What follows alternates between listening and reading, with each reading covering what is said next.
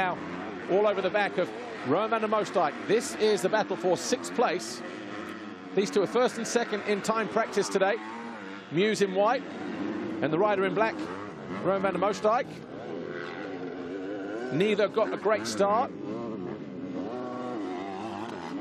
But Mewse looking menacing at the moment.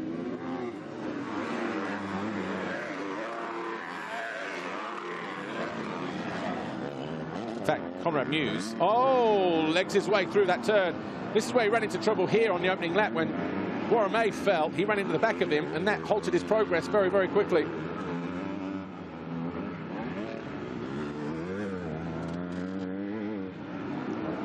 Not going to go through here. Might not be able to turn tight, but I tell you what, he does. Gets on the gas early, Conrad Mewse. They're going to be side by side as they run downhill here, and he'll take the outside line. Will Mewse. Oh, cuts back to the inside. Can't follow, they say. Well, you can't pass while following, but Conrad Mewse trying everything he knows to execute a pass on Roan van der Moosdijk. Going to lean on the Dutchman here, but he'll be kept to the outside. If he gets good drive through here, there'll be a pass into this next left-hander, but Van der Moosdijk quickest into that corner, and then he makes a mistake under pressure from Mewse. All of a sudden, Mewse now up into sixth place.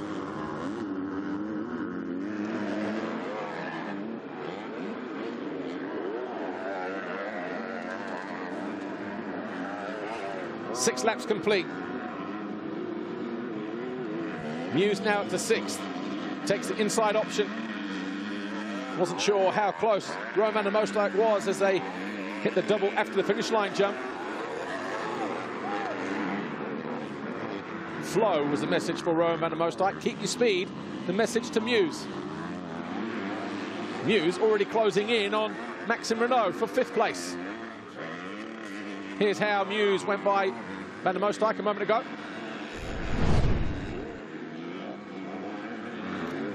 It was a mistake from Roman der under pressure. Mewse was right there, ready to pounce.